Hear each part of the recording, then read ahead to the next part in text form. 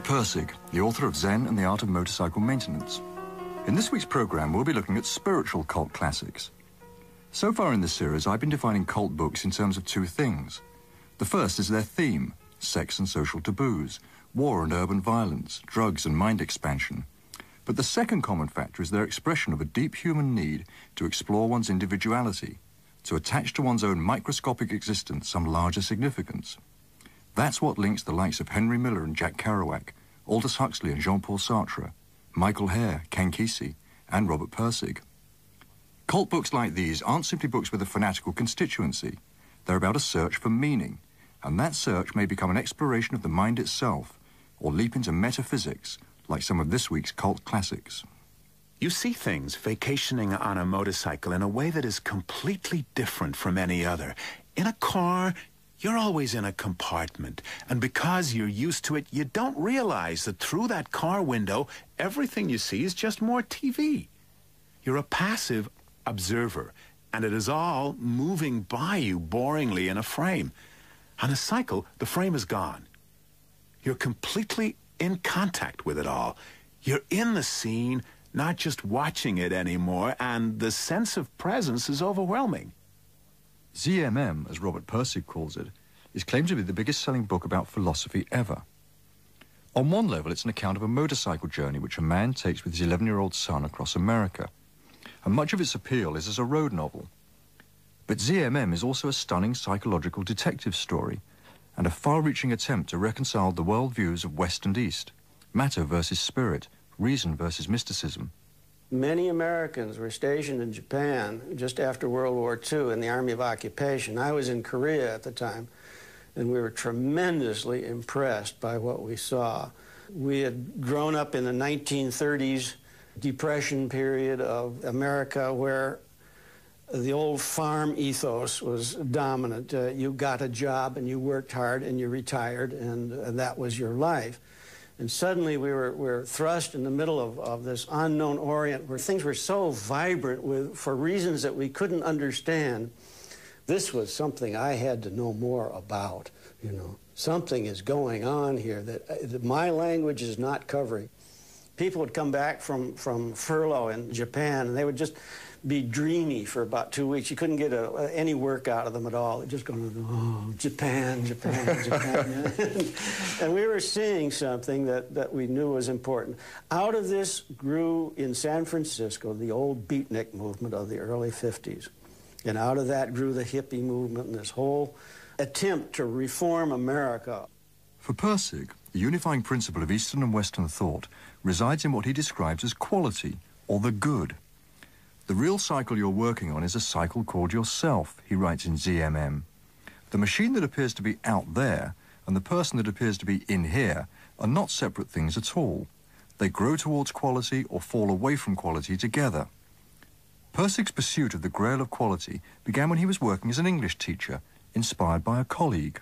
She was the one who put the bee in my bonnet uh, on quality. I had never thought of it before. And she just said, I hope you're teaching quality. And I said, oh, yeah, of course. Uh, you know, who isn't teaching quality? She said, oh, that's wonderful, wonderful. then she keeps coming back, driving further and further. So finally, I have to face the question, what the hell is she talking about? Quality. And that's the beginning of the metaphysics of quality at that point. For Pirsig, the question of what is quality became an obsession. He was convinced that quality contained some dynamic element that was the mainspring of creativity and the key to the mystic's heightened awareness. Ordinary thinking and all the manifestations of conventional human life resist this dynamism. We need to be sparked into a direct apprehension of life as it truly is. Quality is the Buddha. Such an assertion, if true, provides a rational basis for a unification of three areas of human experience which are now disunified religion, art, and science. Art is high quality endeavor. Art is the Godhead as revealed in the works of man. In the area of religion, one can meditate on the fact that the old English roots for the Buddha and quality, God and good, appear to be identical. It's in the area of science that I want to focus attention in the immediate future, for this is the area that most badly needs the relationship established. The dictum that science and its offspring, technology, are value free, that is, quality free, has got to go. The particular institution that Pirsig chose to attack was the Department of Philosophy of the University of Chicago. He lost the fight, and also his mind. He was diagnosed as schizophrenic and incarcerated in a mental hospital for three years. I was condemned by a court of law, signed by a judge, uh, gone through a complete legal system. This person is insane. And I noticed with senator note on the side, subject to lobotomy. Uh, because the American Civil Liberties Union had protested my, my uh, placement in the hospital. The judge had overruled them. So I was just escaped with my life, you see, from those hospitals. When Pirsig came out of hospital, he had enormous difficulty because of his medical history in finding a job. But at last he did find work as a technical writer. I wanted to go back to flying, which I'd learned, but they grounded me for life because of the mental illness. And suddenly it occurred to me a motorcycle is just about as good as an airplane. In fact, better because it costs less, it's less dangerous, and you see more. So I went into that and then met my old friend who I hadn't seen in years, John Sutherland. We went riding together. And he said, and he was re recalling a book called Zen and the Art of Archery. at the time he was talking about, his engine was running and black smoke was coming out. And I thought to myself, he doesn't need a book on Zen and the art of archery. He needs a book on Zen and the art of motorcycle maintenance. And the title just captivated me. And at that time, all I ever had was a title. It's very strange to hear an author starting a book with the title, but that's exactly what happened in this case. So I thought I would write a little article, kind of a whimsical, tongue-in-cheek article about Zen and the art of motorcycle maintenance and how attitude is important in what you do. And as it grew, um, it became oh, a three or four page article. And then I began to see that the subject of quality fit into it very strongly. Quality was the essence of motorcycle maintenance. So I started to expand on that.